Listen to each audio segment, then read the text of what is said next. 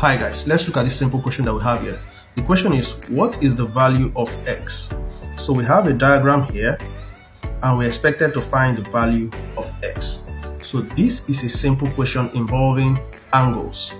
Looking at this question, you are going to see the application of two situations. One, sum of angles on a straight line, and two, sum of angles in a triangle. In order for us to find the value of x, we need to know this angle here and this angle here. However, in order to know this angle, we're going to apply sum of angles on a straight line because this is a straight line. And also, in order to determine this angle, we're also going to apply sum of angles on a straight line. So let's call this angle angle P and let's call this angle angle Q. Okay, so let's solve together. Solution. So for us to find the value of x, we need to know angle P and angle Q. But for us to know angle P, we know that this is a straight line and we know that the sum of angles on a straight line is equal to 180 degrees. Okay, so sum of angles on a straight line is equal to 180 degrees. This means that P plus 125 degrees is equal to 180 degrees. Okay, so P plus 125 degrees is equal to 180 degrees. Therefore, P is equal to this positive 125 degrees moving to the right becomes negative. So you have 180 degrees minus 125 degrees. Therefore, the value of P is equal to 55 degrees. So now we know the value of P to be 55 degrees. And looking at this point, we can also see that this point is on this straight line. Okay, so Q plus 85 degrees is also equal to 180 degrees. So Q plus 85 degrees is equal to 180 degrees. Plus 85 degrees moving to the right becomes negative. So we have Q is equal to 180 degrees minus 85 degrees.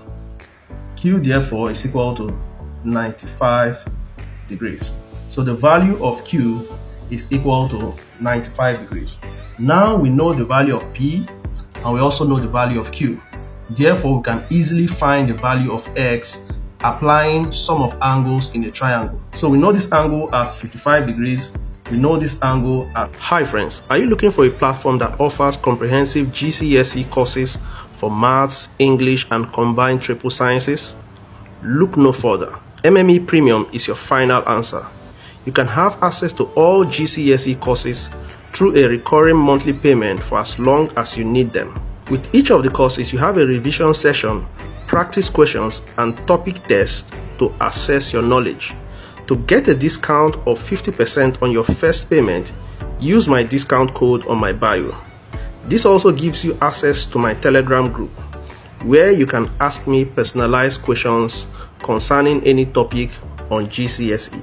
Remember, the discount code gives you access to a 50% discount on your first payment. Don't forget to use the code on my bio. It's 95 degrees. Therefore, if we sum all three angles, we're going to have 180 degrees. So sum of angles in a triangle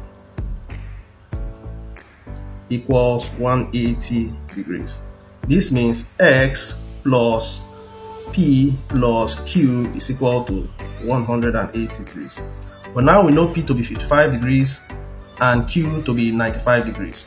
So we have x plus 55 degrees plus 95 degrees is equal to 180 degrees. 55 degrees plus 95 degrees will give us 150 degrees. So x plus 150 degrees is equal to 180 degrees. Next, we are going to move plus 150 degrees to the right, and this will make it negative. So x is equal to 180 degrees minus 150 degrees. 180 degrees minus 150 degrees is going to give us 30 degrees. Therefore, our value of x is equal to 30 degrees. Very simple. This is the answer to this simple question. If you enjoyed the video, don't forget to like the video, share with your friends, and follow for more maths content. See you in the next video. Bye.